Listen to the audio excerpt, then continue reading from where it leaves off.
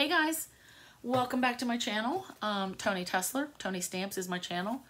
Uh, so tonight I'm doing, A, it's Monday, and I'm not usually here on Mondays, but I had the day off, much like a lot of you, and I had some time, so I thought I would make you a video.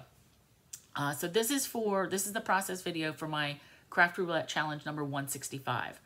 Um, so Mary Gunn runs Craft Roulette, and find her on YouTube. She does a live video every Friday night, and she has a guest every week and they spin wheel for parameters. There's, you know, like 36,000 parameter possibilities. Um, they get four parameters and they make a card live. And then the rest of the world, we have a couple days or up to a week if you're um, if you're a club supporter or I forget what it's called, a patron or something. Like I'm one, so I can I have till Thursday night to submit. Everybody else, if you're not a patron or a club fun, you have to get yours in by Sunday night. Um, so I have extra time. So our parameters for this week. The project, it's a card with flaps. Could be any flap. The card itself can be a flap, right? It's how you interpret it. Uh, colors are winter. That is whatever winter colors you think of. Um, I think of like purples and pinks when I'm doing snowflakes, but winters could be blue, blue and white. Um, it could be black and white, like whatever you feel. Uh, the element is children's story. So I'm going to bring in um, something from uh, a mermaid theme. All right. And then random is tiles, tile or tiles. And I'm going to show you the interesting way that I incorporated that. Uh, I'm also going to show you how a quick coloring way method. So I don't like to always get out my markers and, um, you know, like watercoloring paper and all that. So I've got a quick way and it looks just as good. Um, so let's get down to it, okay? All right, you guys. Um, so here we are uh, and my all my material. So uh, once again, the project, we're going to make a card with flaps. We're going to use winter colors. Uh, as you can see here, I chose my colors. These are my winter colors. I'm using Lost Lagoon and Heather Highland Heather because they match these papers that my friend Sharon sent me. Um, and they kind of go. So those are my winter colors. Like I said, could be anything you want, really, whatever your idea of winter is. Um, element, children's story. So children's story, mine is going to be The Little Mermaid. I found a mermaid image that I already had embossed in silver. And we're going to, I'm going to show you a quick way to color this, to watercolor it. All right. Um, and then random is tiles. So for what I did for my tile element, and you might not be able to see it right this second, but I took this, um, the designer paper, the pattern paper, and I ran it through with this folder from Tim Holtz, Adorn Tile. So it's we're going to make this show up a little bit more. Um, so let's start with, let's go to our base pieces and get all this out of the way. So you're going to need a piece of four and a quarter by 11 and you're going to score it at two and three quarters and eight and a quarter. Now, if you don't want to do two and three quarters and eight and a quarter, just do two and three quarters, flip your paper, two and three quarters again. All right, so let's, where's my bone folder? Score that. This is going to be the outside of our card. So here we have one set of flaps, all right? So it's going to go like this. Then we have a piece that is five and three eighths by eight and a half. So normally when we cut a piece of eight and a half by 11 in half for a card base, we do five and a half by eight and a half. But this time we want to take a little bit off. All right. So five and three eighths by eight and a half. Then we're going to score at two and one eighth and then six and three eighths. All right. And then these will come kind of in the middle. And we're going to burnish those. Now the gist of how this is going together is this is getting glued inside here. So we're going to have flaps and more flaps. All right, that is a perfect fit, actually. Um, and I'm actually going to do a, oops, excuse me.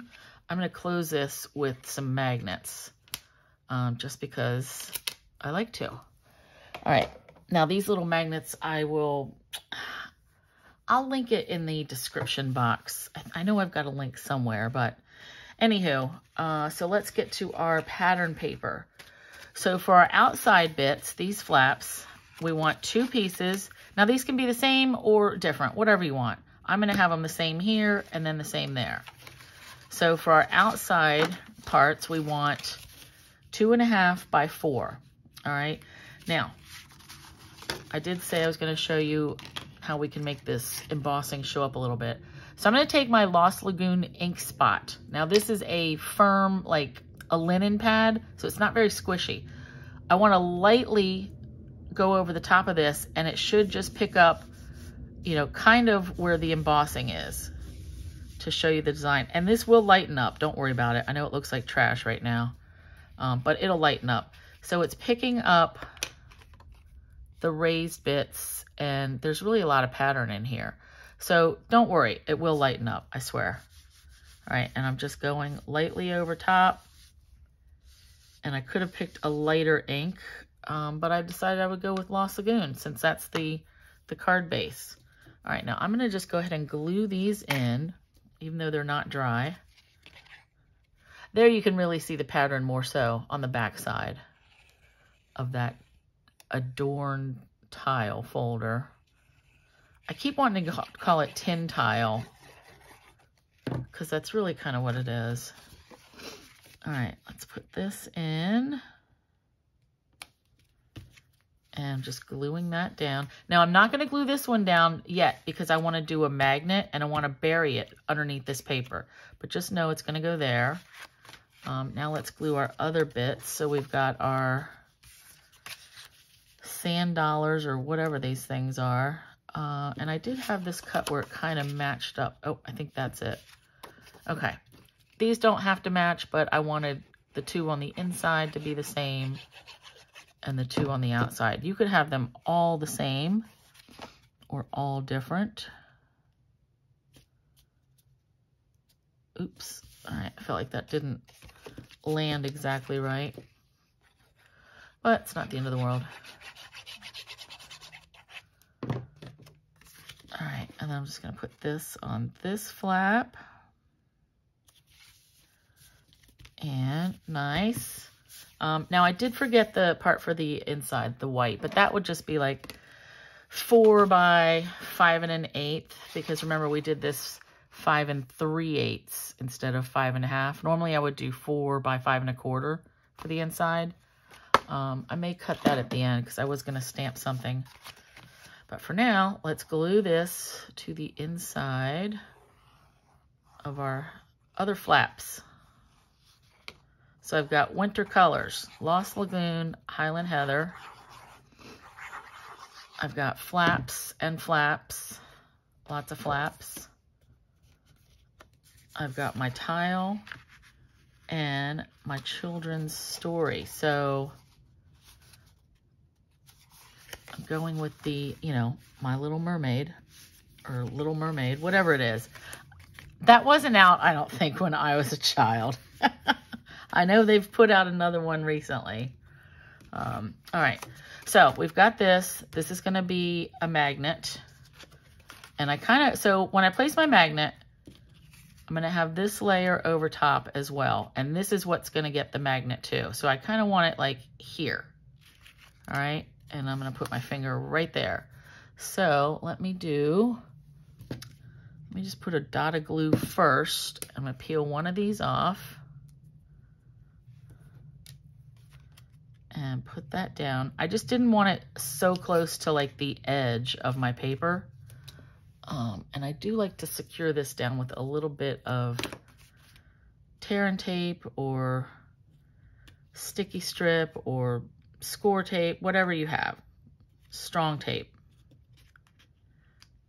And if I could peel it up, that would be awesome. Ugh. All right, jeez. All right, now let's glue this in. I'm trying to see, yep, make sure my leaves are going the right way.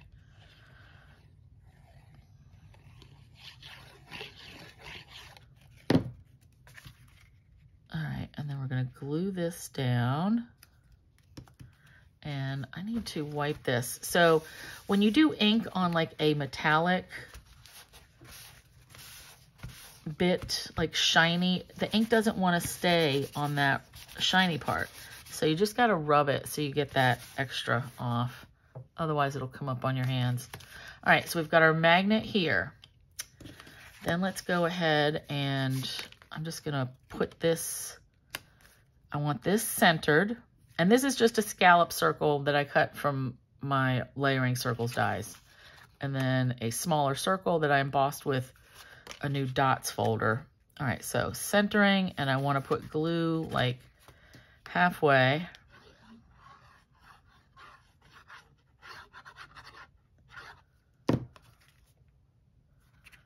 And making sure I kind of got that. All right, now for our magnet, we just let it, look, it sticks where it wants to go. So I can put glue there, let it go, and then add a little smidge more of tape.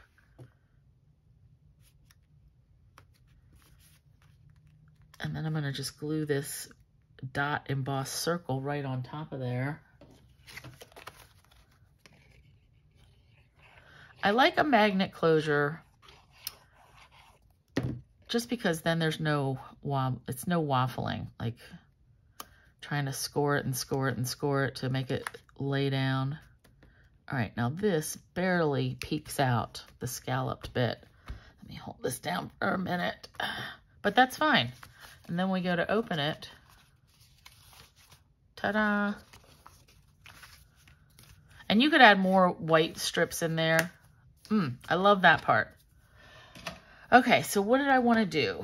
Um, I wanted to, I'm going to color this gal real quick and cut her out. And I'll speed through the cutting out part. Um, or I may just skip it entirely. How about that? I'll skip that. Um, and then I've got bits that I want to add. So I've embossed Let's Celebrate. I was using this Stamps of Life stamp. It's called Shells 2 stamp, the number 2. Um, and I'm going to do It's Your Birthday on the inside. But Let's Celebrate, which I may cut the words out. Not decided yet. And then I just did two little shells. One in the Highland Heather and then the um, Lost Lagoon. So let's color this. Now, I've embossed this on, I think, regular cardstock, not even thick and certainly not watercolor. Um, but that's okay. So we want, I've got four colors here. Petal Pink. Um, and I didn't even think about her hair color. I got to pick something for that. Maybe, uh, let's do a light brown. Ooh, let's use Pecan Pie. That's a new color.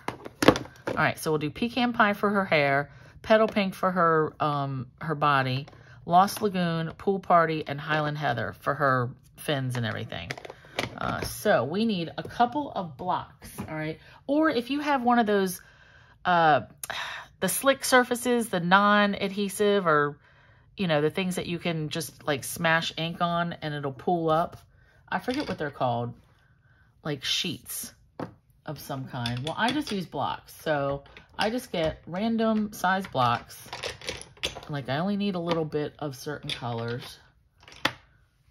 So let's do that and here. So I'm going to do, um, I'm going to do her body first. So you need a watercolor, an aqua painter or water brush. All right. And I've already gotten that going. Uh, so let's do petal pink. So I smash this, my block right into my ink pad. And then that makes my palette. All right. So not watercolor paper, not even thick paper. I'm just going to get color, and then really quickly color it in. Now it makes like, it absorbs it really quick because it's not, not watercolor paper. I missed a little bit right there. But that's all I want. And then this, I just wipe off, and I will go and run them under the faucet. Um, but let's do the same thing with the pecan. Just a little bit. And that's probably too much because there's not much hair there. All right, so we'll just pick up and we're just gonna color in the streaks. And if it gets lighter, that's great in bits because we want some variety, right? All right, good enough. Mmm, see how quick this is? Now for these three colors left, I wanna go with the uh, lightest color first. So we're actually gonna go Pool Party, Highland Heather, then Lost Lagoon. And I think I'm going to have her fins be pool party. So let's just get that water. All right, that is a lot of ink. So again, we're just going to swirl in and color. All right, now don't forget I'm cutting this out. So the fact that I'm going out of the lines doesn't even matter. All right, now I just want to put blobs of this color all over because I want her her body to be like all the colors. All right, then we'll come in with Highland Heather. And again, just blob that ink on a block. And this is going to be darker. Ooh, I love it. I'm just trying to kind of place it so it matches or so it's evenly dispersed, really. All right, let's do that. And then Lost Lagoon will be our last color. Now this is a new color, but it's actually a returning in color from Stampin' Up! in mine. So my ink pad is, I don't even know how old. All right, same thing. So I'm just gonna fill in, and then this is the darkest bit. So, ooh, I like it. I like it, like it. So I'm gonna come back, I'm gonna cut this out real quick and come back and I'm probably going to hit this with Wink of Stella so she's really glittery. Um, and then we'll finish putting her together. So I've uh, colored, cut her out, and I do want to hit her with the clear Wink of Stella. And I'm going to do her hair and then her body, or her fins rather. Now some of this is hard to tell. Like I can't see the shimmer on all this part in the middle because of all that embossing. But I can really load up the fin. And actually, you know what? Let's just do all of it. whole thing. All right. There's nothing wrong with a lot of shimmer. All right. So I want her to be kind of like right here. Mmm, perfect fit. And I want these leaves, and I know they're oversized, but that's okay. I want them like coming out here. Yeah. Yeah, yeah, yeah. And then let's celebrate. I think I'm going to cut this apart. So I'm going to have the let's and celebrate separate. That gives me more options because then I can put this like, whoop, like right here. And then have the let's right in front of it. Yeah, I think that's what I'm gonna do. So I'm gonna pop the words and the girl up, the mermaid, and then we're gonna glue the shells down flat. So let's do this. That one was about there.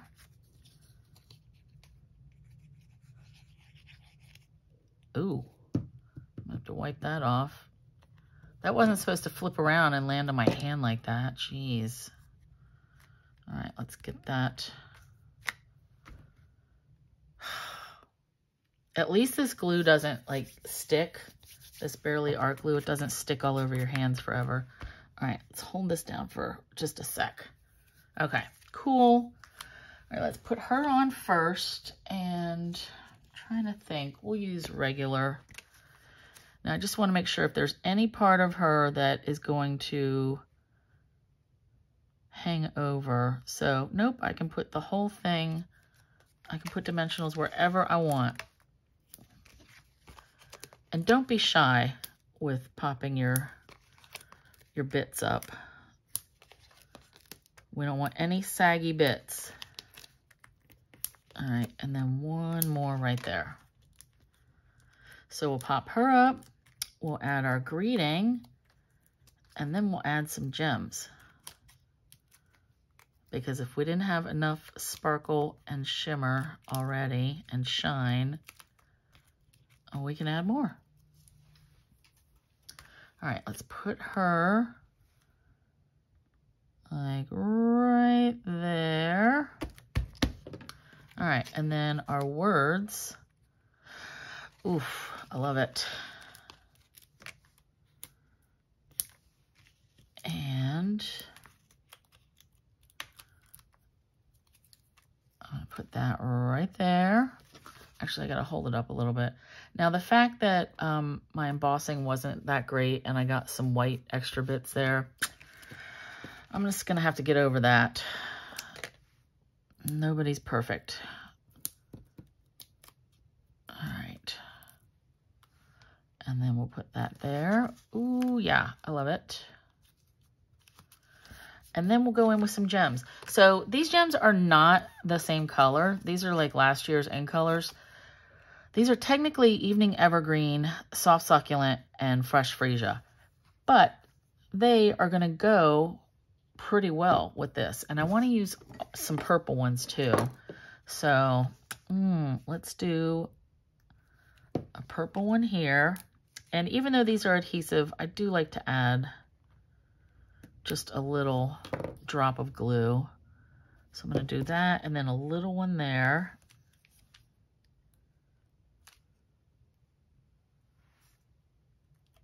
And then add some one, two, one, two, three, four, and then five. We'll do a big one. So we'll do some green ones on the outside. Oh yeah, so that is a little bit darker you know what, let's do the soft succulent ones. And that glue is still there. Because I want them to sparkle and shimmer, but I don't want them to be overwhelming. All right, let's do a little one and another big one. Now another um, good gem would be iridescent rhinestones or, you know, something that's just sparkly but clear. Because then the, all the colors will show through from the bottom. So I think that does it. Let me get this garbage out of the way. So let's just go over real quick again. So we have card with flaps. Flap, flap, flap, flap. Okay, done. Check. Colors, winter. My winter colors are blue and purple. Element, children's story, mermaid, little mermaid and then random tiles. And that would be the tile embossing folder that I used on the um, that pattern paper.